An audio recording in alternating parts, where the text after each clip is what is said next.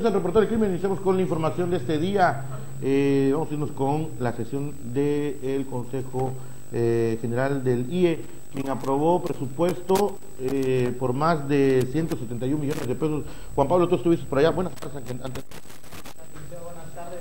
Así es, hoy por eh, cerca de las en esta sección extraordinaria por parte del Instituto Electoral del Estado de Campeche, pues se aprobó el proyecto para pues de presupuesto de egresos para el ejercicio fiscal 2017. Eh, este ejercicio fiscal pues contempla 171 mil 171 millones 873 mil 535 pesos eh, durante este ejercicio eh, excesivo pero se justifican um, al decir que es por debajo de los de 5% del 2015, 2016, el, el actual, el actual eh, año que estamos viviendo. Eh, cerca de 40 mil millones serán destinados específicamente para el proceso electoral del 2017, que obviamente finalizará con las elecciones del 2018. Obviamente el presupuesto, esto sí debería de revisarlo la Contraloría del Estado, con respecto, por favor, de la este, sesión del Consejo General del IE. Eso sí creo que es importante revisarlo, las auditorías de, del Estado deben de estar ahí al pendiente de cómo se va a ejercer este recurso. Se habla también del rubro de, de comunicación y de difusión de este instituto que por mucho tiempo ha sido la caja chica de eh, medios de comunicación, pues que usted ya sabe cuáles son, los de mayor circulación y uno que otro que tiene muy buena amistad con el Consejo, son los beneficiados de este asunto y que creo que es un exceso, de verdad es un exceso gastar, imagínense, 171 mil millones de pesos, 171 millones de pesos, 473.537 pesos para el ejercicio del 2017. ¿En qué se gasta tanto dinero? Si no es año electoral. Comienzan las pre, Sí. las pre-campañas y obviamente no es un año 100% electoral, sino que es el, el inicio de- del mes de septiembre, octubre del próximo año.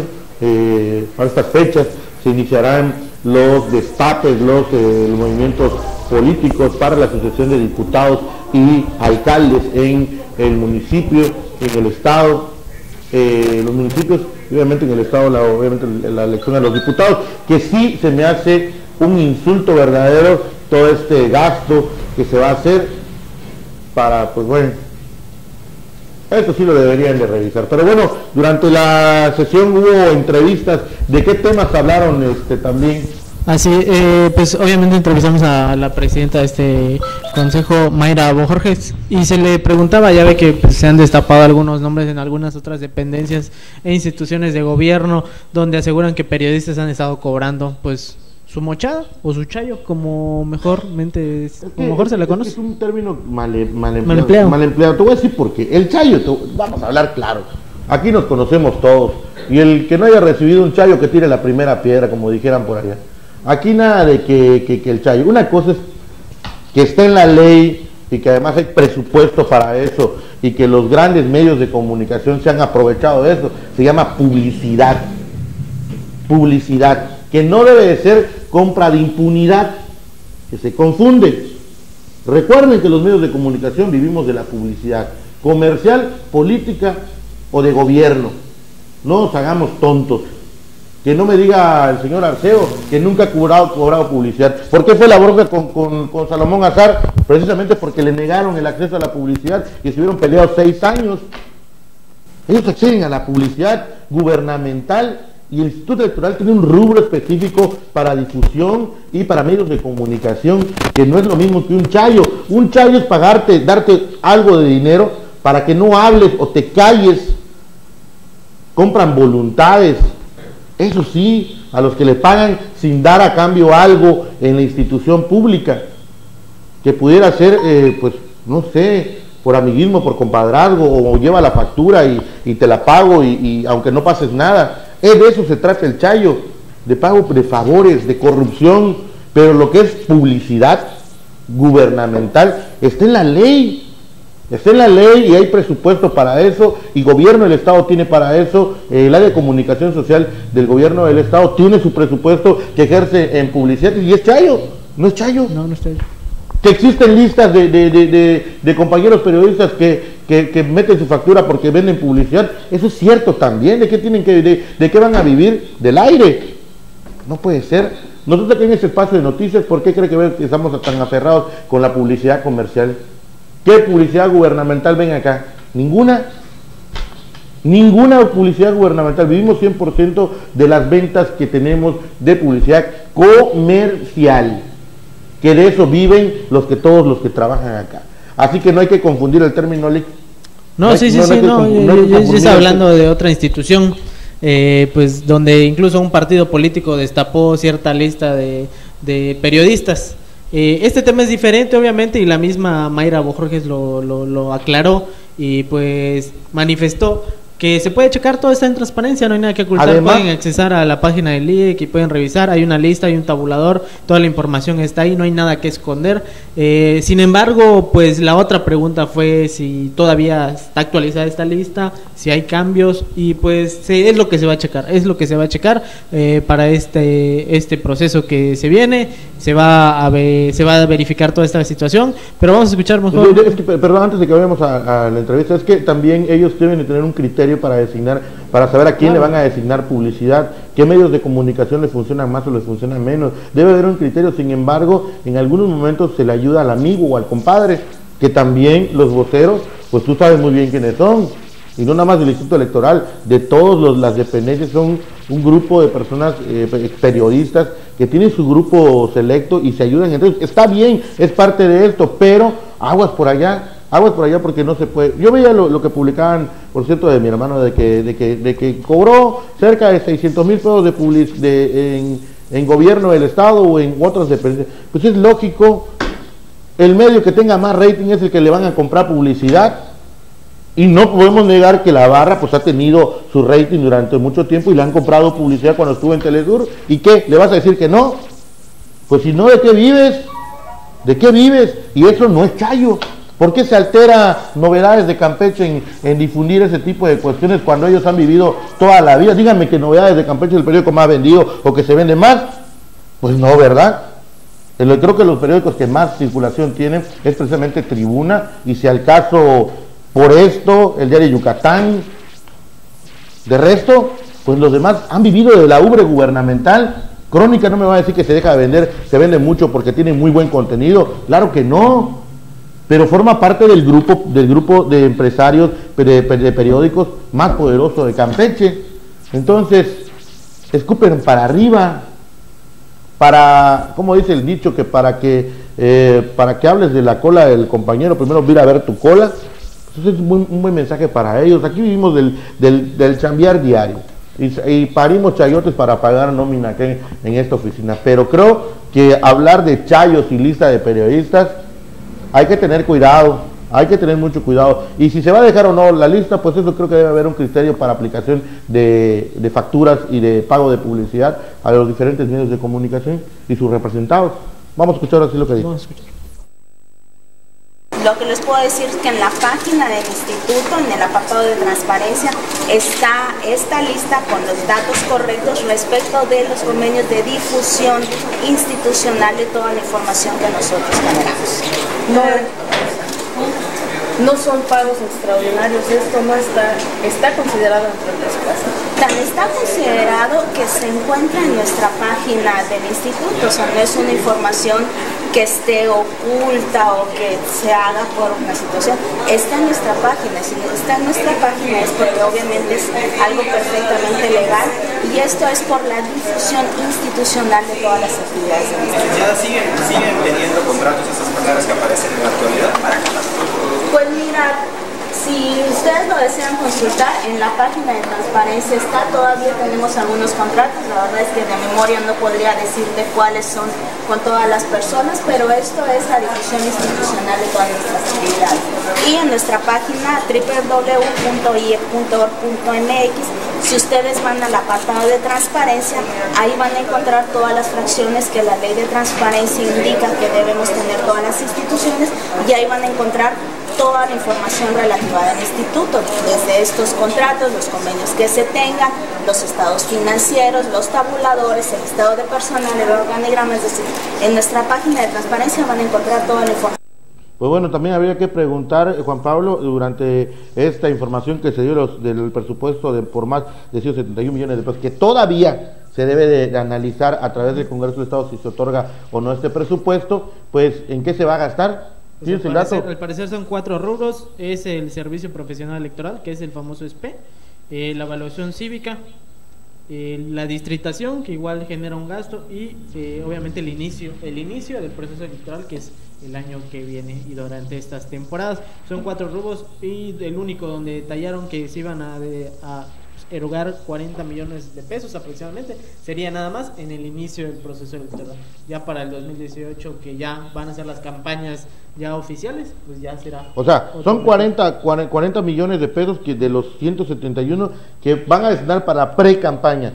Y de resto serían 131 millones de pesos que estarían para el presupuesto durante todo, el, año, que se va a gastar en capacitación, capacitación eh, y evaluación civil. Habría que ver también quiénes son los capacitadores y todo el asunto de, ese tipo, pues para que sea transparente. Y como bien dicen, al final todo debe estar en transparencia en la página oficial del Instituto Electoral del Estado de Campeche. Esto sí sería bueno que se llegue a un análisis profundo respecto a la Contraloría y de, lo del año pasado y este y el próximo que vengan, que ahí sí se revise y si se tiene que meter al bote a la gente, pues que se metan al bote, porque al final se gasta mucho dinero en partidos políticos. Ese dinero creo que, yo siempre lo he pensado así, aunque es parte de la democracia, tiene que invertirse dinero para la organización de las campañas políticas y elegir a nuestros gobernantes, pero creo que es un exceso en México lo que se gasta, digo en México, ¿eh? no en Campeche, a nivel nacional lo que se gasta del presupuesto del Estado para organizar campañas políticas, para elegir a nuestros gobernantes se gasta un chingo de dinero. Que ese dinero creo que con esos 171 millones de pesos pudieran hacer alguna obra en, en Ispujil, en Calakmul, no sé, en alguna comunidad donde se les, está entrando agua a los campesinos. ¿No les parece? Pero bueno, el que también habló fue José Luis Flores, representante del IEC del partido Morena. ¿Qué dijo? Pues habló sobre el tema de la distritación previo a que pues se autorizara este ese presupuesto para el ejercicio fiscal 2017, pues se tocó el tema de la distritación, bueno, redistritación que pues se llevó a cabo hace unas meses y ya quedó aprobado, en donde pues hacía un exhorto al Instituto Electoral del Estado para que este se lleve a cabo de, de, buena manera, de manera transparente y sobre todo que llegue a todas las personas para que luego en las elecciones de 2018 no haya problemas con el famoso tú no vas aquí, tú perteneces a otro lado y pues tocó este tema, este tema importante. Fíjate que eso, velo, por ejemplo, ahí está. Vamos, regresando al tema de los periodistas y los medios de comunicación. ¿Cómo le informas al ciudadano cuál es su distrito o cómo se le vas a informar cómo va a estar reorganizada la redistritación que se trata de ir eh, parte por parte a ver a qué, antes votabas en la escuela fulana ahora ya no vas a votar en otro lado. Toda esa difusión se tiene que pagar en medios de comunicación, televisión televisión radio prensa escrita redes sociales, redes sociales eh, digo y qué va a ser de gratis no se puede no es de gratis por eso existe un presupuesto para medios de comunicación. Por eso existen formas de contratar, no sé, pendones, eh, no sé, mil formas de comunicar a la gente dónde y en qué punto le corresponde su, casilla o a qué distrito pertenece. ¿Me entiendes? Entonces, es una real pendejada que digan este. Es que les dan chayo a los, a los, a los periodistas. Existe una lista de chayos. No, vamos. Ahora sí vamos a escuchar lo que dijo se ha considerado el tema de la distritación. Consideramos que es un tema muy importante hoy en día, a puerta de que ya va a iniciar un proceso electoral y a unos cuantos meses, pues solamente se tiene ese término para que los mismos ciudadanos se enteren de cómo está su distrito locales y no pueda haber ninguna confusión del mismo. Este tema es muy importante y lo recalcamos porque nosotros fuimos de los que consideramos que no se debió haber hecho porque los los elementos no eran totalmente actualizados. Sin embargo, el Instituto Nacional Electoral lo realizó y nosotros pusimos nuestras mociones, sin embargo, hoy en día ya está una nueva distritación y sí, aunque es responsabilidad del INE pero se firman los convenios o es parte corresponsal el Instituto Electoral del Estado de Campeche, pues sí es muy importante que se haya considerado. Ahora hace falta ver que se haga con todo el, el esmero en todos estos tiempos, estos, estos pocos meses que queden, para que en todos los rincones del Estado pues los ciudadanos sepan exactamente y no haya ninguna información errónea o todos sepan. Bueno, pues ahí está esta información que se dio el día de hoy en la sesión del IX van a proponer 171, un poquito más, 170, bueno, casi 172 millones de pesos para el ejercicio presupuestario del próximo año. Ahí se los dejo de tarea. Vamos a irnos con información. El día de hoy se inauguró, se llevó a cabo la inauguración del evento de manos creativas, este evento que reúne artesanos de todo el estado y de la República Mexicana. El evento que fue presidido por el titular de este instituto, José Luis López Castillo, y la presidenta del DIN municipal, Ena, eh, la Ena, quien eh, acompañó al corte listón. De verdad que les invito a que se den una vuelta.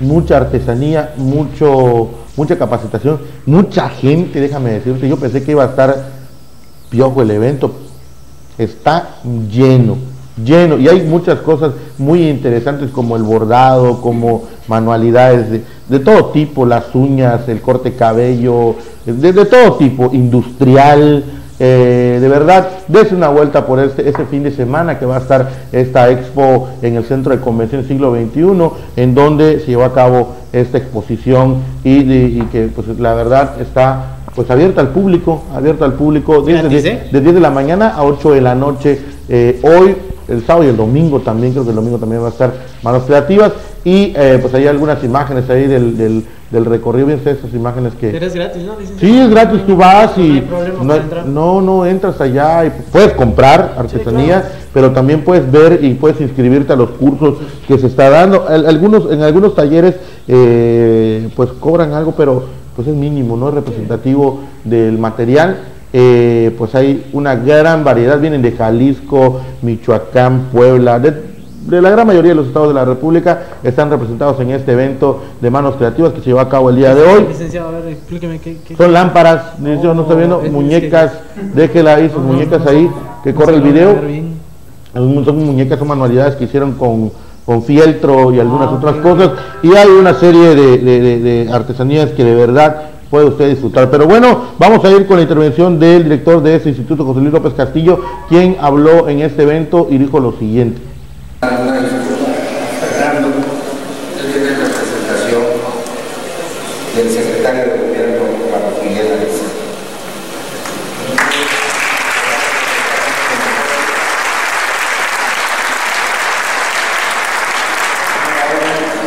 Muchísimas gracias por acompañarnos, distinguidos miembros del presidium. Gracias por estar acá. Amigos, señores directores de los centros de capacitación para el trabajo que nos acompañan de San Luis, Jalisco, Chiapas, Chihuahua, Hidalgo, Guerrero, Oaxaca, Tlaxcala, Coahuila y Yucatán. Compañeros de los planteles de Cancún, Escárcega, Candelaria, Champotón y Ciudad del Carmen, además de las secciones móviles de Ceiba Playa, Chacán, Tellao, Sibanché, Calakmul y Palizada. Compañeros que nos enriquecen con su presencia. Amigas y amigos, esto es Manos Creativas de 2016. Subrayo, somos todos, todos los que estamos acá y los que nos visitarán a partir de hoy y hasta el día 16. No podemos estar más que agradecidos por ustedes, con el invaluable apoyo de la señora Cristel. Manos Creativas pasó de ser una muestra artesanal a una gran muestra emocional de sentimientos. Me explico. Lo que veremos en esta gran muestra sí son artesanías y trabajos diversos hechos con extraordinaria habilidad manual, pero además son las emociones, los sentimientos, el cariño, el corazón y el inmenso bagaje cultural que pone cada artesano en cada uno de sus trabajos. Por ello, cada pieza que vemos nos llama la atención, o como decimos por estas tierras, achoreamos, porque vemos la artesanía, el habilidoso trabajo, pero también sentimos la carga emocional, el sentimiento y el amor entremezclados en la obra. Este año Manos Creativas tendrá 138 stands renovados, con un diseño acorde a la calidad, la altura y el alcance que ya estamos teniendo. Reitero, estamos muy agradecidos con la señora Cristel, porque además del apoyo permanente al instituto, ahora integra a la muestra a 10 centros de desarrollo comunitario dependientes del PIB estatal. ¿Cómo Déjenme decirles que agradecemos la participación de 10 centros de desarrollo integral comunitario dependientes del DIF municipal Campeche. Gracias, señora Elena. Muchísimas gracias.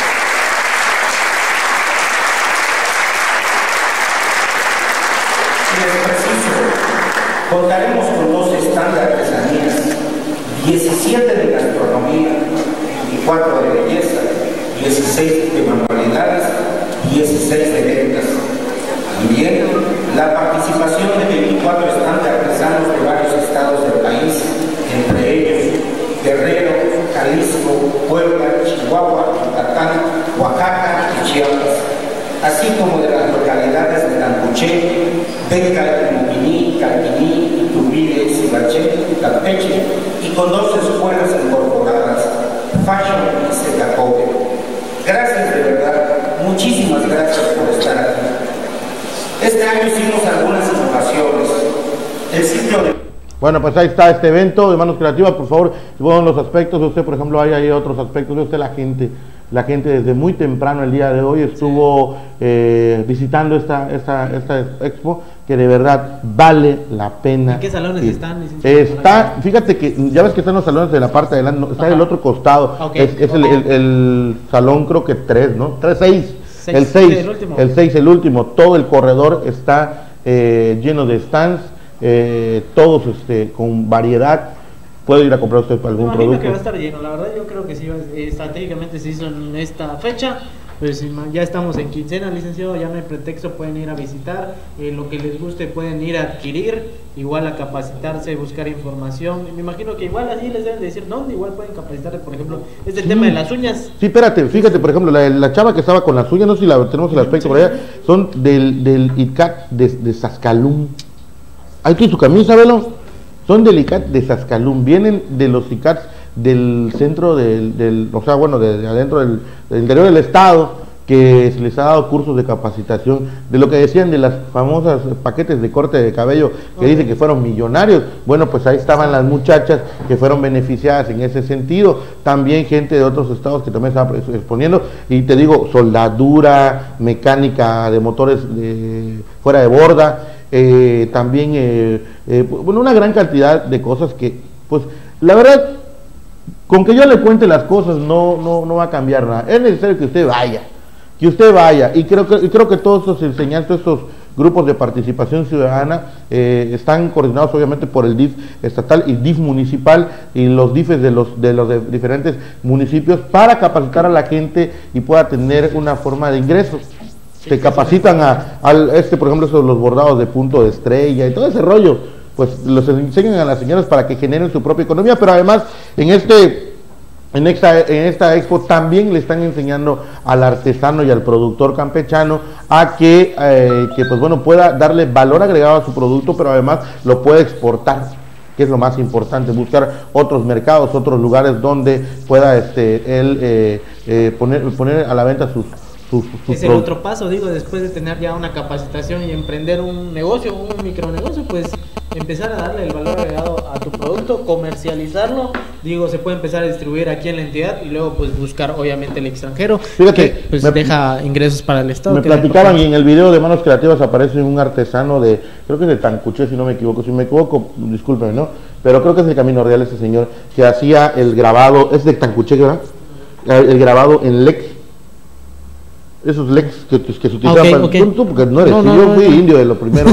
De mi, mi abuelita tenía el famoso lec donde almacenaban las tortillas y ese lec, el, este artesano los decora Ah, los decora. Y luego me estaban platicando que, con- que llevaron esa exposición, a, creo que a Chiapas, y encontraron una persona que ese lec lo pulió y al pulirlo eh, tomó otra característica, el, el- la artesanía, como que si fuera un barniz, y eso no se habían dado cuenta. Y son los intercambios que hay. Obviamente ahora esta persona que limpiaba, que pues ahora sí que pulía los LEC en, en- en Chiapas, pues está tratando de hacer un intercambio con Campeche, con la Unidad de Campeche, para poder eh, ser capacitado, para que pueda aprenda a grabar y entre los dos, pues poder hacer Imagínate. una, una producción de esta artesanía muy De mejor bonita, calidad. Mejor calidad. Bueno, con esto vamos a ir al corte y regresando del corte nos vamos con información de los accidentes y otro tipo de actividades que hubieron el día de hoy.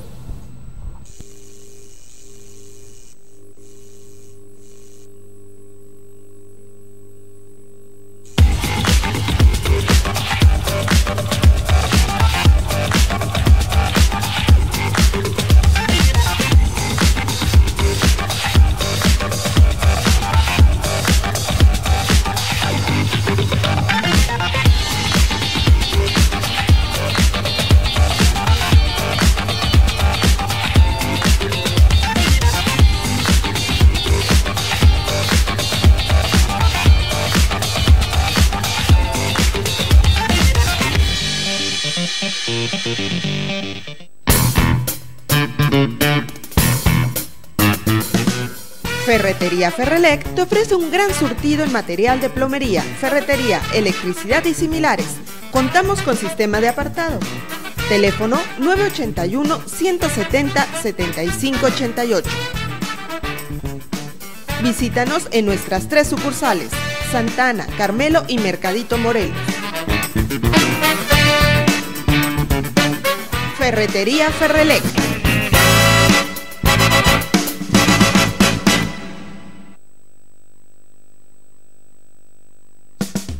Visitar PC Hoxa. Tenemos todo tipo de aparatos y accesorios electrónicos, computadoras, impresoras, pantallas plasma, memorias en general, cartuchos, bocinas y todo lo que puedas necesitar. Estamos ubicados en la avenida Miguel Alemán número 168 en el barrio de Guadalupe. Teléfono 811-6278. PC Hoxa, tu tienda de cómputo de confianza. Procesadora Crustimar te ofrece camarones frescos, cocidos, pelados para ensalada, coctelero, con cabeza, sin cabeza y para empanizar. También contamos con caracol, manitas de cangrejo, ostión, pulpa de jaiba y pulpo. Estamos ubicados en la pescadería 7 de agosto y nuestra nueva sucursal, Avenida Lázaro Cárdenas, número 175, Solidaridad Urbana. Con gusto te atenderemos. Crustimar Campeche.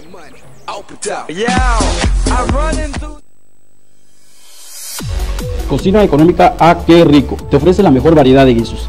Estamos ubicados en la calle Perú, número 180, entre Querétaro y Jalisco, Santa Ana. Abrimos de lunes a sábado de 12 a 4 de la tarde. Contamos con servicio a domicilio, teléfonos 81 619 69 12 711 49. Contamos igual con WhatsApp 981 13 35 265 981 169 2576. Cocina económica A Qué Rico.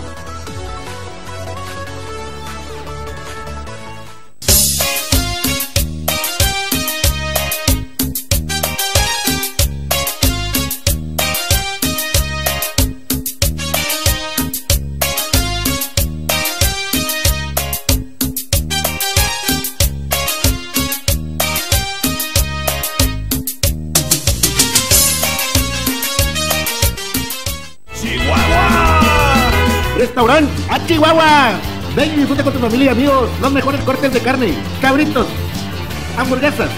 Contamos con área para niños. A Chihuahua tiene disponible para ti cuatro salones.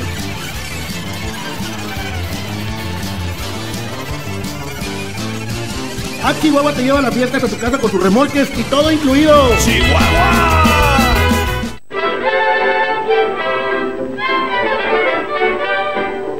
panadero con el pan, el panadero con el pan, el panadero con el pan, el panadero con el pan. Tempranito va y lo saca calientito en su canasta para salir con su clientela por las calles principales y también la ciudadela y después a los portales y el que no sale se queda sin el pan para comer. Diga si van pronto a salir, porque si no, para seguir repartiendo el pan, repartiendo el pan, repartiendo el pan.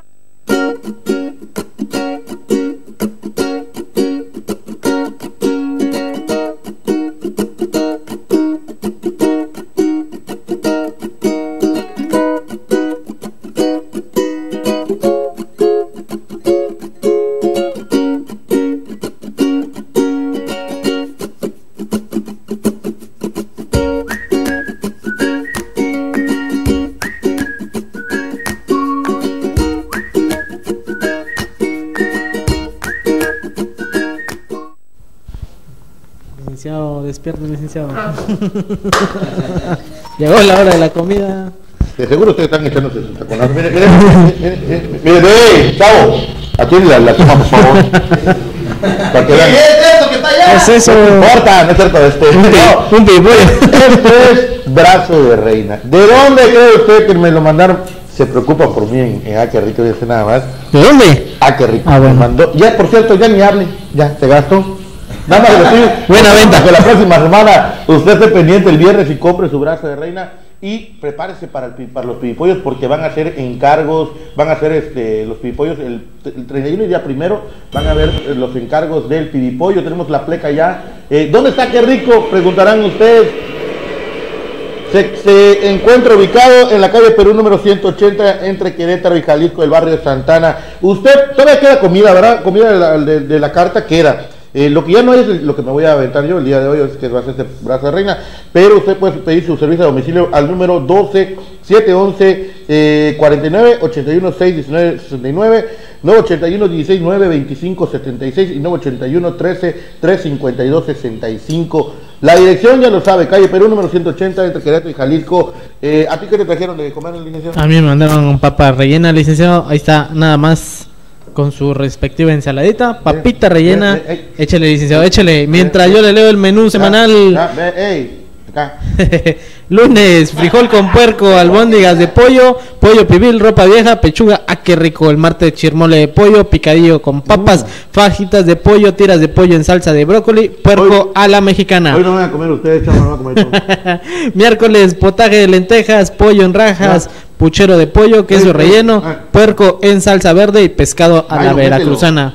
El jueves, picadillo de pollo, bistec de cazuela, chiles rellenos, ibes con puerco, pechuga en salsa de champiñón. Hoy viernes, pues No pechugas en salsa poblana, pechuga rellena de champiñón, brazo de reina, papas rellenas de asado, cazón frito o pan de cazón. Además de las croquetas de papas rellenas de queso Filadelfia. Y para mañana, para que usted esté pendiente, puchero de tres carnes, pibipollos, pozole, mondongo y carnes a la tan pequeña, los pipollos, pues pozole, ¿eh? sí. El Sí, se acuerda todavía. ¿Cómo no me acuerdo? El sábado, ¿no? Sábado, sábado. Mañana para que se preparen los que gusten, los pipollos obviamente son individuales, medianos y grandes. El grande 250, el mediano 200 y el individual 65 pesos. Ahí está, para que usted Me aproveché. Sí, sí, sí, fue más de la cuenta, licenciado. No se pudo detener. Ah, tío, comiéndome va. bueno, vamos a continuar con la información porque ya basta de, de, de cotorreo acá. Hoy por la mañana se dio el banderazo. Hay que reconocer también el trabajo que hacen algunos transportes. Algunos. Algunos, por no, sino, por no decir el único. Los nueve transportistas de China se organizaron con el gobierno del estado para precisamente eh, pues poner a disposición del público en general, del pueblo de China y las comunidades eh, que están cerca de China, para que este camión en el mes del combate del cáncer de mama esté disponible para todas las mujeres. Eh, este banderazo se dio hoy por la mañana precisamente en la parte trasera de lo que es el Hospital General de Especialidades Médicas Javier Bonfil Osorio, donde se encuentra precisamente la unidad médica de atención del cáncer del mama. Pues obviamente este transportista del, presidente de la empresa de transporte de China, Germán Ayala Gutiérrez, pues encabezó este, este, este- esta puesta a disposición para, eh, para las personas que presenten esta, esta problemática, esta enfermedad del cáncer de mama. Dieron el banderazo y donde hablaron respecto al tema. Eh, este señor empresario también está participando en la gente que no tenga el dinero para, para transportarse a que le hagan su examen de cáncer de mama. Va a donar 40 mastografías, obviamente el estudio que se le hace a las mujeres en el y también a los hombres, ¿eh? Sí, sí, también debería. También a los hombres se les, se les- se les da el cáncer de mama. Eh, él habló respecto a este tema. Escuchemos lo que dijo Germán Ayala Gutiérrez, presidente de la Unión de, de la, la Unión de Camioneros Agricultores de China.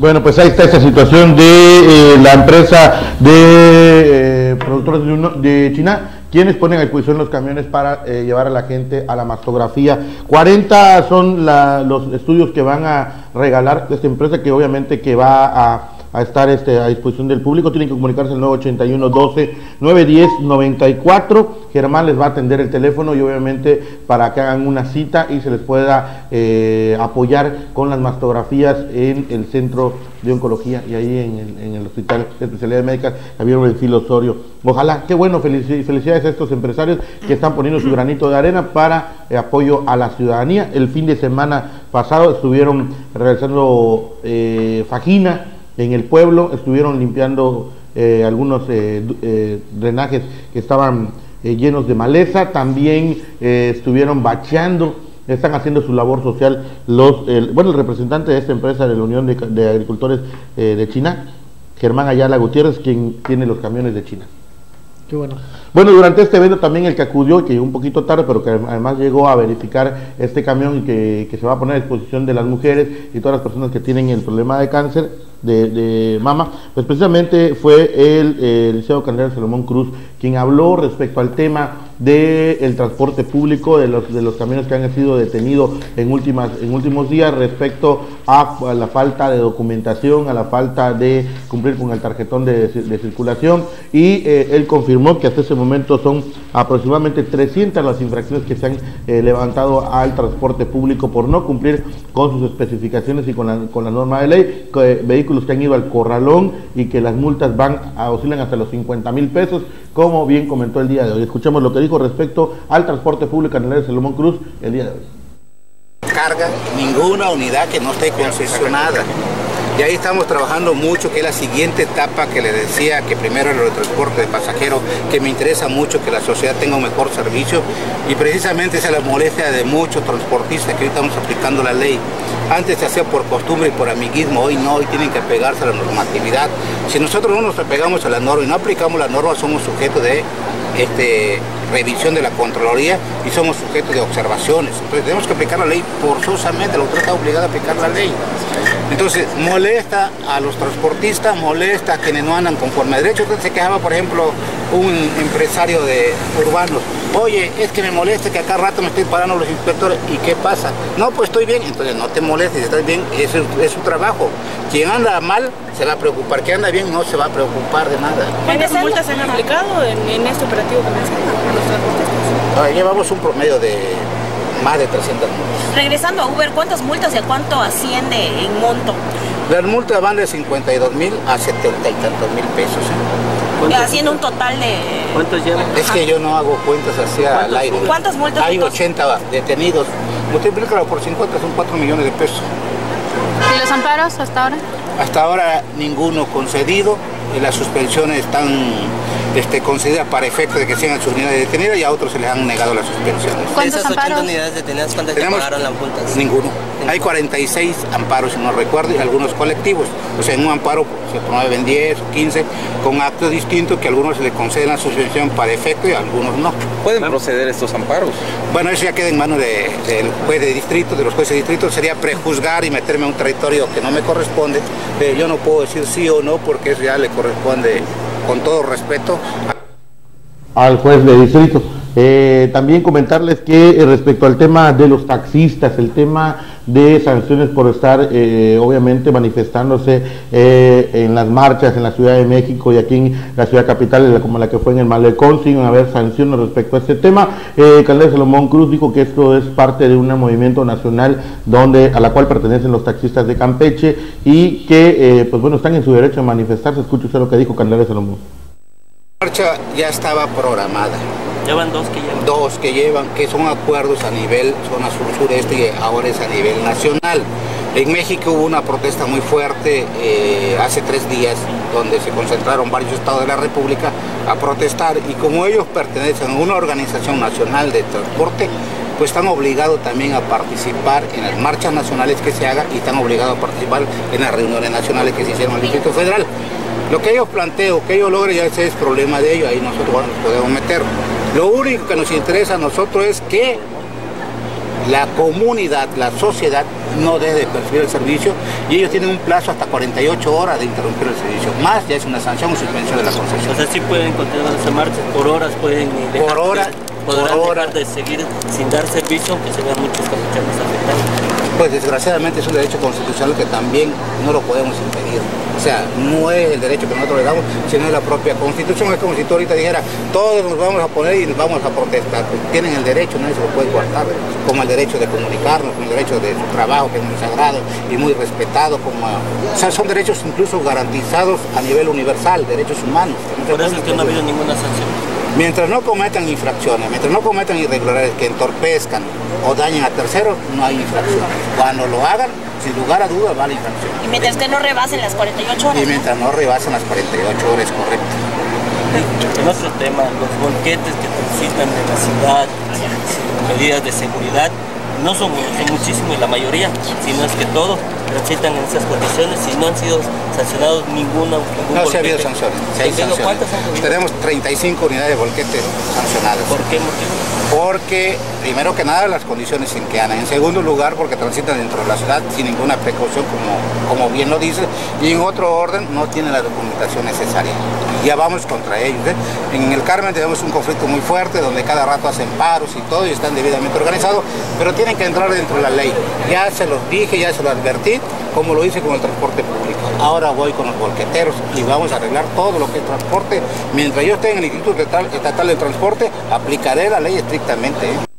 Bueno, pues ahí está. Van a ir contra volqueteros también. En los próximos, en los próximos días habrá información respecto a esto. Vamos a irnos con también un evento que se realizó el día de hoy, el Día del Caminero. Se celebró el Día de la Gente que se dedica a trabajar en las carreteras y este evento fue presidido por el gobernador del estado, Alejandro Moreno Cárdenas, quien acudió a este evento tradicional de todos los años, en donde, pues bueno, se festeja a esta gente, principalmente el, que organiza este asunto es la Secretaría de Comunicaciones y Transportes. Durante el evento el gobernador habló y dijo lo siguiente, escuche usted.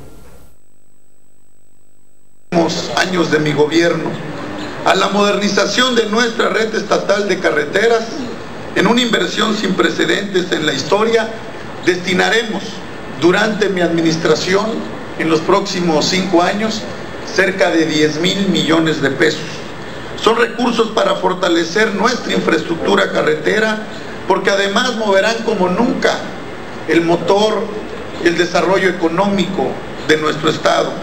Este sector es fundamental no solo para la generación de empleos, sino para darle dinamismo a nuestro estado y a nuestro país, ya que seguiremos construyendo obras, obras que le darán mejor calidad de vida, bienestar y mayor comunicación e integralidad al estado de Campeche. Nuestro estado verá reflejada esta nueva era de compromiso, de crecimiento y de desarrollo con las mejores vías de comunicación, más amplias, más seguras, más funcionales para contribuir al tránsito productivo, comercial y turístico. Y yo quiero aprovechar para decirles a todos, a todos los que hacen posible el trabajo comprometido, a la fuerza laboral, a los servidores públicos, a todos, a los empresarios, que construyamos juntos obras de calidad, obras de primera, con los mejores compromisos que son rendición de cuentas, transparencia, efectividad, eficiencia, con los mejores productos y con los mejores equipos. Tenemos que darle a nuestra gente, principalmente a los campechanos y a quienes transitan por nuestras vías de comunicación, obras de primera, obras que prestigien al Estado y que hagan que la gente hable bien y hable mucho del Estado de Campeche. Por ello, con ello contamos con el apoyo fundamental de la Secretaría de Comunicaciones y Transportes, que ha sido una aliada permanente del Estado de Campeche. Y yo quiero aprovechar para decirle al director del centro que sea usted el portavoz para enviarle un afectuoso saludo de agradecimiento, de reconocimiento al secretario de Comunicaciones y Transportes, al amigo de Campeche, a Gerardo. Pues ojalá y que las palabras del gobernador entren bien en los oídos de la ST porque, pues, por ejemplo, citarle una obra que no tiene más de dos años, que por cierto él inauguró recién tomando el cargo cuando vino el presidente, fue el periférico de la ciudad. La entrada nada más del siglo XXIII, bajas de la entrada de, ¿cómo se llama? La, la invasión que está en la parte de atrás, ¿cómo se llama este? La que era de, de su familia, Ana Marta. ¿Cuál, la 20? No. No, de la 20. Hay un, hay un, hay un este, No sé. no sé cómo acuerdo cómo se llama No esa sé. comunidad. Bueno, de verdad no tiene usted pierde. Entre siglo XX, siglo XXI y siglo XXIII, la bajadita, antes de llegar al, al entronque, es una bolsita a ver si es de calidad esa hora. Hace una semana la estaban rompiendo para reparar unos baches. La bajada del puente de Castamay también tiene problemas de hundimiento. Ya se han volteado varios vehículos, precisamente se voltearon también eh, en esta semana dos o tres vehículos respecto al tema. ¿Lo metiste, Junior? También se, han estado eh, volcando y todo este asunto. El tema es precisamente el, también el, el- el- tema de, darle alumbrado público a esta parte del periférico que pues ya se entregó la obra por lo que tengo entendido, nosotros lo vamos a platicar, pero también el director del centro SCT habló respecto a este tema, él, eh, eh, es Helio Zip Polanco, él dijo que el puente de la unidad se debe de estar reiniciando la obra ya en la brevedad. El próximo año debe estar ya eh, en proceso de, conclusión de obra y eh, obviamente solamente falta algunas gestiones que está haciendo el gobernador y obviamente la ST para que terminen este puente de la unidad que eh, pues bueno quedó a medias. Re- re- recuerda esa inversión multimillonaria y que aún sigue parada la obra ahí en Ciudad del Carmen. Respecto a este tema habló Helio Polanco, escuchemos lo que dijo. Ya está el PREPEF, ya está el, ya está el proyecto de presupuesto de egreso. No lo digo en un ambiente triunfalista, lo digo porque ya hay números. Si los números se aprueban así en el presupuesto, nosotros vamos a tener ¿Cuánto recorte. aproximadamente ya se tiene programado? Nosotros trabajamos el año pasado con 1.300 millones. Ahorita ya en el prefecto tenemos eso, más lo que se pueda lograr a través de la gestión de los diputados. Es decir, si hubiera algún cambio va a ser hacia arriba, no va a ser hacia abajo. ¿Los trabajos de Dársena pues, este, se van a rehabilitar en algún momento este, este, el próximo año o este, de- de- definitivamente antes de terminar el 2016? De la Dársena... de- Digo, no de la Dársena, de la Puente de la Unidad. No, el puente de la unidad inicia, ya nada más está realizando el gobierno del estado porque va a ser quien va a licitar el proyecto, eh, eh, sus tiempos de cuándo empezarán a, a- a dar el trámite, pero el puente de la unidad va, es algo totalmente ya ¿Comienza en cierto por parte de la, 2017? Secre- de la ¿O- Secretaría. Sería cuestión nada más de revisar, pero yo creo que lo más tarde que, que empezaría sería en el próximo año. ¿no? En este tiempo yo creo que se necesitarán los temas de licitaciones y demás, pero el puente de la unidad estará por muy tarde empezando el próximo año. ¿Cuánto es lo que se necesita para terminarlo ya? 1.500 millones aproximadamente. Totalmente, totalmente. ¿Cuáles son las actividades este, de que más se van a enfocar? Este... Conservación de carreteras. O sea, ¿qué- qué- cuál es la prioridad hoy del centro? No crear, eh, no es que no vayamos a modernizar ni a construir nuevas vías. Lo que queremos y ha sido también una gestión muy fuerte del gobernador es que las vías que ya tenemos, las carreteras que ya tenemos, rescatarlas y mantenerlas en perfecto estado, optimizarlas para un Bueno, también le he preguntado precisamente sobre el tema que estamos platicando, el periférico de la ciudad, que es donde se ha sido escenario de diversos hechos de tránsito, donde han subido volcaduras y ha- han cobrado la vida, por lo menos en este mes, de una persona eh, por eh, también el exceso de velocidad, ¿no? El exceso de velocidad es un factor importante, pero el periférico se supone que tiene alumbrado público por secciones y eh, nunca funciona. Le preguntábamos precisamente al titular del centro ST qué es lo que está pasando, quién es responsabilidad o quién lo debe atender, tanto el chapeo de los camellones centrales como obviamente la iluminación y aseguró que ya se tienen pláticas con el ayuntamiento de Campeche para que le entre al quite porque su responsabilidad esta obra del periférico ya se entregó al municipio y simplemente y simplemente no no están cumpliendo con este hecho. Vamos a escuchar lo que dijo el titular del centro ST Campeche. Nosotros lo que, lo que podemos hacer y lo que hemos estado haciendo es hablar con el ayuntamiento. Una vez terminada la obra, la obra se entrega al ayuntamiento y son los que tienen encargados de cuidarla, de tenerla en perfecto estado, de prender las luminarias. Entonces estamos en comunicación con ellos para que lo hagan, para que esté en perfecto estado, porque la obra ya se entregó, ya se terminó. Entonces, estamos en comunicación con ellos, tenemos el compromiso también de ya que estén prendiendo todas las luminarias toda la noche y este y evitar esto y también una recomendación a toda la gente que, trans- que transita por ahí que regulen su, su- su velocidad. Nosotros este año vamos a poner ahí eh, eh, señalamientos incluso eh, eh, luminosos para prevenir de que mantengan la velocidad eh, en el- en- en- dentro de las, lo que se tiene que, que- que- que tener ahí. ¿no? El estado general que guardan las carreteras en Campeche. Mira, la verdad es que yo he visitado, te soy muy honesto, yo creo que la mayoría del país, si bien es cierto que hay eh, algunas carreteras, sobre todo por los temas y fenómenos eh, meteorológicos en mal estado, la gran mayoría, eh, 2.247 kilómetros de la red federal están en buen estado. Y con la gestión bueno, pues ahí está este tema del periférico de la ciudad, responsabilidad precisamente de eh, la autoridad eh, municipal, darle el mantenimiento y obviamente eh, el chapeo y los postes. Bueno, vamos a irnos con un robo de una camioneta. ¿Qué? Corte. Perdón, corte y regresamos.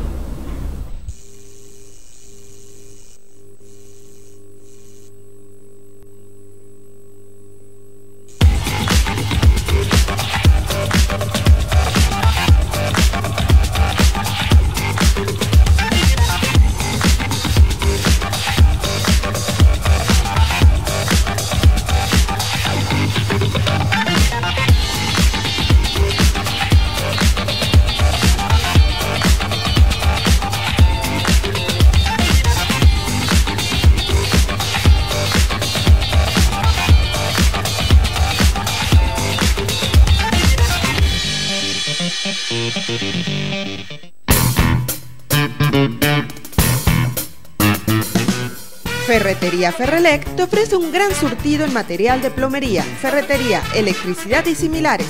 Contamos con sistema de apartado. Teléfono 981-170-7588. Visítanos en nuestras tres sucursales, Santana, Carmelo y Mercadito Morelos. Ferretería Ferrelec.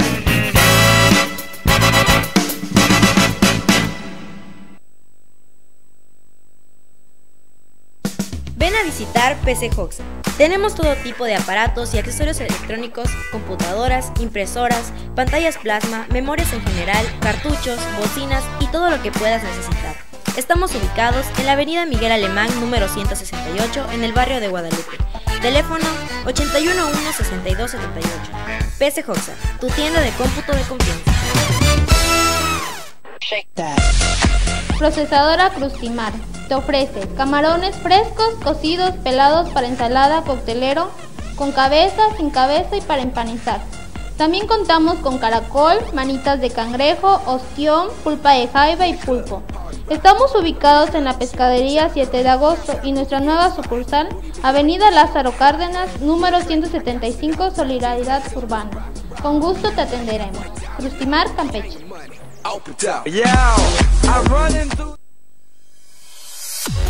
Cocina económica A Qué Rico. Te ofrece la mejor variedad de guisos. Estamos ubicados en la calle Perú, número 180, entre Querétaro y Jalisco, Santa Ana. Abrimos de lunes a sábado de 12 a 4 de la tarde. Contamos con servicio a domicilio, teléfonos 81 619 69 12 7 11 49. Contamos igual con WhatsApp 981 13 35 265 981 169 2576. Cocina económica A Qué Rico.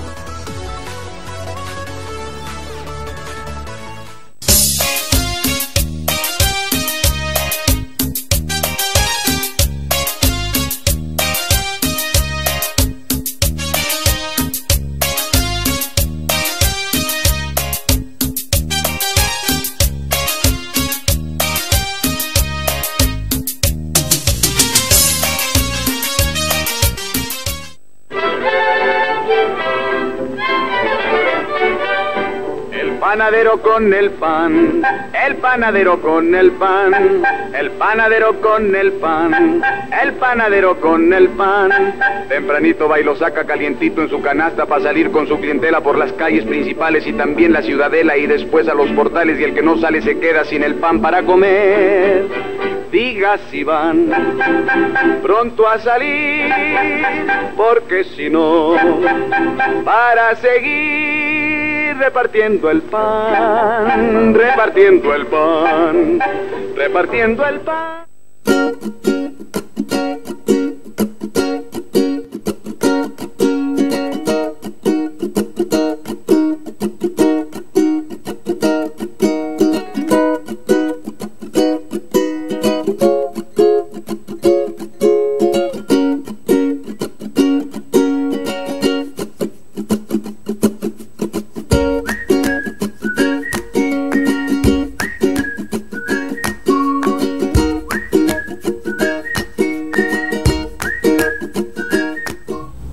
Adelante, licenciado. Oh, licenciado, déjeme comentarle que pues hoy por la mañana al parecer robaron una camioneta y pues fue encontrada horas después.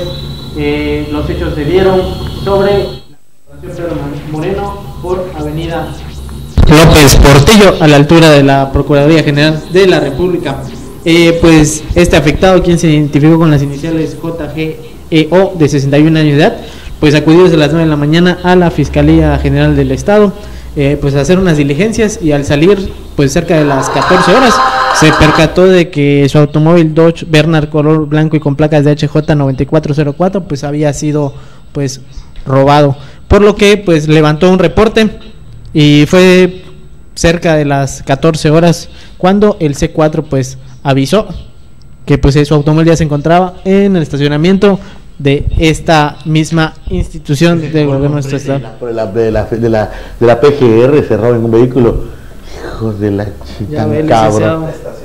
Nadie se salva. Tan, tan cabrones.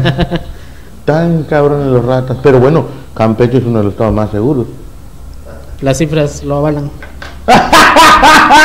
¡Sí, chismoso! Está bien, mi buena madre, ok. La cif- pues sí. Perfecto, está bien. Ok, vamos Bueno. a continuar con la información. Un este. Un olegario cualquiera. Un olegario cualquiera. Bueno, que acá- una persona que, que acostumbra a beber, bebidas embriagantes y a quedarse tirado en la calle, pues este llamó la atención de transeúntes que circulaban. Aquí aplica el no andaba muerto. No andaba muerto, andaba de Bueno, pues todo el mundo pasaba y veía que este cuarto estaba tirado ahí en, el, en la vía pública. Pensaron que se había muerto. Y este, obviamente los que pasaban por ahí hablaron a la Cruz Roja. Digo, oye, ¿qué, qué este cuarto ya se murió? No, que se va a morir. Estaba hasta las 30.800 de ebrio. Y pues bueno, al final la ambulancia llegó, vio que estaba vivo, que no andaba muerto. Este, y lo, lo, lo checaron. Al final el, el sujeto pues fue dejado allá. Sí, no lo pudieron llevar. No lo pueden llevar por el nivel de alcohol que- el nivel de alcohol que traía en la sangre era ah, parte del escuadrón de la muerte de los que quedan ahí tendidos, todo un olegario cualquiera. ¿Quién sabe dónde salió? ¿Dónde andaba? no sabía dónde andaba. Bueno, vamos a con otro accidente. Una camioneta el día de ayer se estrelló en la avenida Costera. Así Según al conductor de esta camioneta, que se impactó contra un poste del alumbrado público ahí cerca de Palmas, eh, pues bueno, lo vinieron siguiendo un par de motociclistas. ¿Tú tienes la información? Así es, licenciado. Los hechos pues se dieron ayer por la noche, cerca de las 8.30 de la noche, eh, sobre la avenida Pedro Sánchez de Baranda, eh, por la unidad habitacional Palmas 1, luego de que pues una camioneta Ford Courier con placa CP 4713 del estado, pues quien era conducida por Romero Ángel Guadalupe, pues impactara contra un poste después de que afirmara que dos motociclistas lo venían persiguiendo y incluso uno de ellos pues se subió a la góndola, lo que originó que este automovilista pues impactara contra un poste alumbrado público. Eh, como saldo, dos mujeres con golpes leves eh, siendo atendidas por paramédicos de la Cruz Roja. Bueno, en el lugar hubo entrevistas, hubo entrevistas con los afectados. Ángel Cazán fue uno de los que habló. Escuche usted lo que dijo. El conductor de la moto se puede decir que era un joven de 17 años, 17, 16, no muy grande. Complexión. Eh, complexión delgada, eh, estatura promedio de unos 65.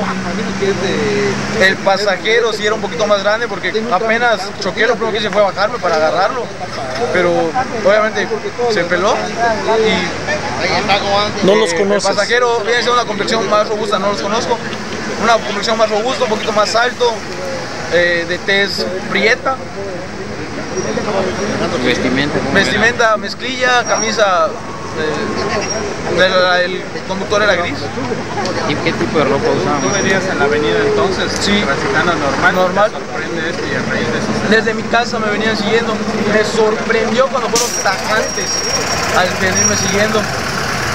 Pues una vez que se subieron a la góndola, yo lo consideré como una Bueno, pues ahí está este hecho. Hubo otra entrevista, ¿no?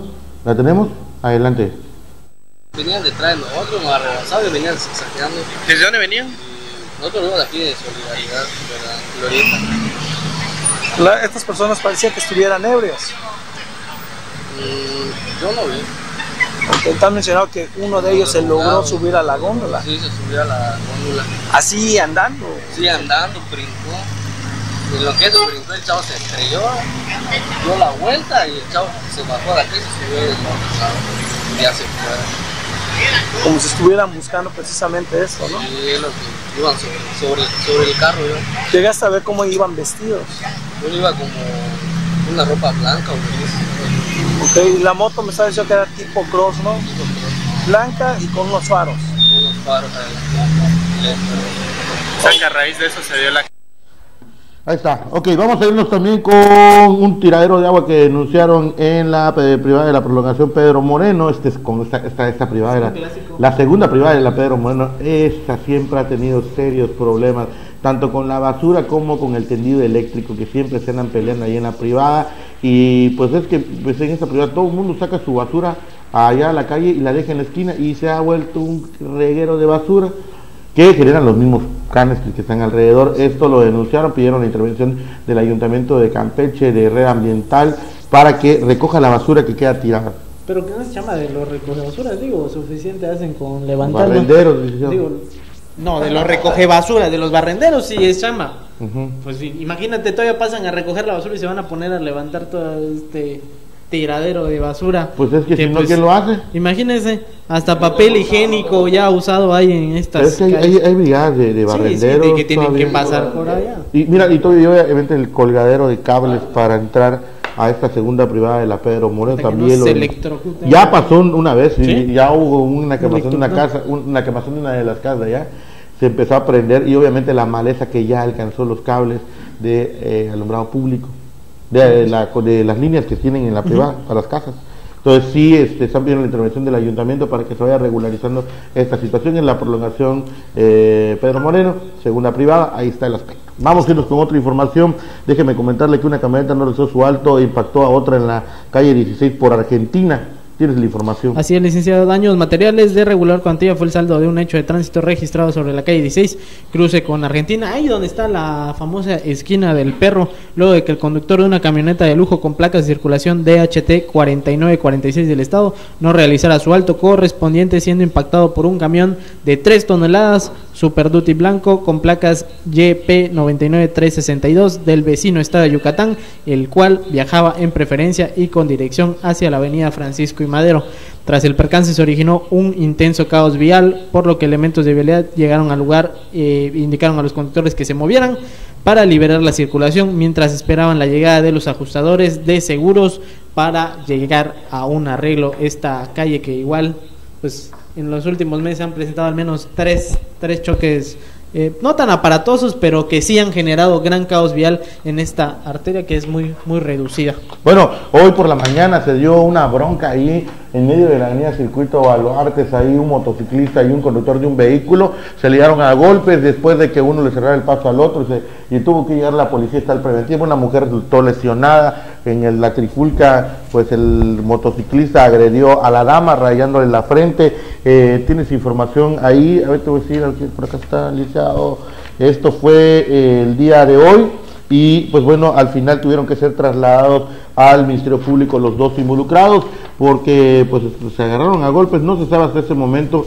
cuál fue el motivo. El empleado, un empleado de, es un empleado de una casa de empeño quien conducía una motocicleta con placa de circulación eh, KPH06, eh, quien se agarró a golpes con el contorno de un vehículo Jetta con placa de circulación de HM 2291, eh, ya que momentos antes eh, se, le, se le llamó la atención al, al motociclista al no respetar el paso peatonal a la altura del IMSS y sobre el circuito Valores, pero al final se molestaron los dos y se bajaron y se agarraron a madrazos, como comúnmente dicen en la barriada, se agarraron a golpes.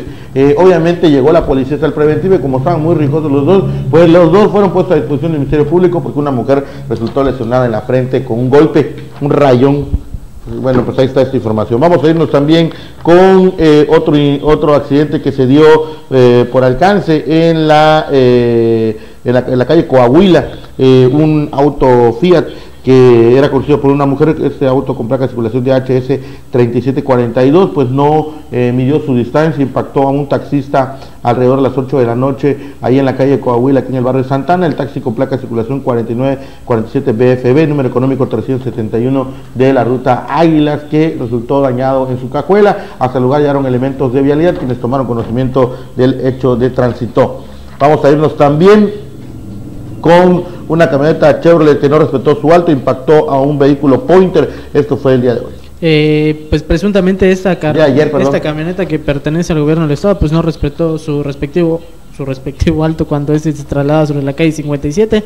El conductor de esa camioneta Chevrolet tipo Suburban con placa de circulación de HM 8372 M pues se trasladaba a exceso de velocidad sobre la calle 57 del centro histórico donde al llegar al cruce de la calle 12 pues terminó impactándose contra una camioneta Volkswagen tipo Pointer Pickup con placa CP47240 que se trasladaba con preferencia, resultando lesionado la eh, el copiloto. Ante pues este incidente llegaron cuerpos de emergencia de la Cruz Roja, mismos que estabilizaron a esta mujer. Los involucrados llegaron a un arreglo vía seguros en, en el mismo lugar de los hechos, licenciado. Bueno, vamos a irnos con otra información. Vecinos de la ampliación Esperanza de la calle 7 de Mayo denunciaron el, el- el mal estado de la colonia y obviamente los terrenos baldíos, las banquetas rotas, eh, un comin- común denominador. Nos han estado mandando mensajes de las condiciones en las que se encuentran. La gente está sacando sus tiraderos de aguas en la calle, por lo que piden que la intervención del Ayuntamiento de Campeche se dé una vuelta por allá. Es la calle 7 de Mayo de la, de la comunidad Esperanza. Ya vamos a terminar, ya vámonos. Así es, así es. Vámonos. El, el Consejo Coordinador Empresarial presentó un proyecto de eh, una plataforma eh, para los teléfonos celulares. Las licenciado, esta es una aplicación, esta aplicación se llama pues Campeche 360, esta aplicación la pueden encontrar tanto en las tiendas eh, obviamente de para Android, que es el Play Store, y para pues eh, iPhone, que es el iOS. Eh, en el App Store. Eh, esta aplicación ya la pueden descargar eh, incluso es eh, va a traer beneficios para los mismos ciudadanos de aquí ya que pues eh, se, se ofertan muchas muchos negocios eh, donde ofrecen valga la redundancia, ofertas para los mismos campechanos pero sin embargo la finalidad primordial es para que los turistas tengan un punto de referencia tengan información a la mano y puedan conocer un poco más acerca de las rutas y algunas otras cuestiones como eh, eventos deportivos y culturales de las autoridades. Y en este evento pues habló el presidente del Consejo Coordinador Empresarial Gustavo Rodríguez Valle quien platicó brevemente sobre esta aplicación nueva e innovadora aquí en la entidad. hacer el lanzamiento de un producto que lo hemos estado trabajando en compañía con algunas de las cámaras que hoy representamos como Consejo Coordinador Empresarial, como es la Asociación de Hoteles y Moteles, como es la, la Canaco, la CUDIR y muchas otras empresas que hoy en día no están de manera directa afiliadas a este Consejo Coordinador Empresarial, pero en definitiva la intención de este proyecto que hoy el Consejo Directivo, el Consejo Coordinador va abanderando es simplemente darle al turista una herramienta, una herramienta que hoy en día todos los destinos turísticos de talla ya cuentan con ella y pues Campeche no podía ser una excepción a la regla. Lo que buscamos es la participación en esta primera etapa de 250 empresas, las cuales eh, ya eh, tenemos casi concluida esa, esa etapa. Eh, hoy solo hemos trabajado en el municipio de Campeche. La intención es en las siguientes dos etapas de este proyecto buscar que los 10 municipios restantes del estado Bueno, pues ahí está esta nueva aplicación, hay que descargarla, va a ser útil. Oigan, fíjate que también la Secretaría de Educación y la Secretaría de Seguridad Pública firmaron un convenio interesante. Se impartirá bachillerato en penales del Estado. A partir de ahora, estudiar educación superior en los centros de rehabilitación social del Estado será una realidad. Eso tras firmar un convenio de colaboración entre la Secretaría de Seguridad Pública y la Secretaría de, Educación, eh, el cual permitirá que los reclusos puedan recursar el nivel educativo en los egresos del Estado, así como los ingresados en el Centro de Internamiento para Adolescentes de Quila Lerma, en la Sala Campeche, la SEDUC, eh, los titulares de ambas dependencias estatales, eh, Ricardo Medina Farfán y Jorge ah, de Jesús Argáez Uribe, respectivamente realizaron la firma de convenio de colaboración acompañados de los titulares de los, de los centros de readaptación social del Estado, con lo que a partir del próximo lunes los interesados podrán iniciar sus estudios en educación nivel medio superior. El titular de la SEDUC explicó que con este acuerdo la dependencia que encabeza absorberá los costos de asesorías a los internos, así como entregar material y herramientas didácticas necesarias para que en un plazo no mayor de un año, ocho meses, a través del plan 33, así lo llamaron, los internos puedan concluir este nivel educativo. Eh, pues más tarde pues firmaron el, el, acuerdo y tuvieron los presentes los directivos de cada uno de los cerezos en, Campeche. Importante esta firma, esta firma de convenio para la educación a los internos. Se trata de rehabilitarlos, no que, no que, se vuelva una escuela de la delincuencia como ya era, como ya, ya es. Pero bueno, ahí está la información. Bueno, con esto hemos llegado al final de este programa. Hubieron dos accidentes en unos momentos. Una en la avenida Miguel Alemán, un motociclista de la empresa Chef Color fue atropellado. Ya subí la nota a la red. Y obviamente también un tráiler y estos de los que atraviesa en la ciudad sin valerle sombrilla el, reglamento de vialidad con eh, horarios específicos para entrar al primer cuadro, pues se llevó de corbata un, vehículo, lo arrastró, lo dañó. Son de, las, de los trailers que entran a, a ahí en el barrio de San José pues ya está en la red también, se lo, se lo dejo para ahí. Todo lo que salga en el transcurso de tarde, noche, madrugada, lo estaremos reportando por cortes informativos. Buenas tardes, nos vemos el día lunes primero Dios, aquí por el Reporter del Crimen. Nos vemos.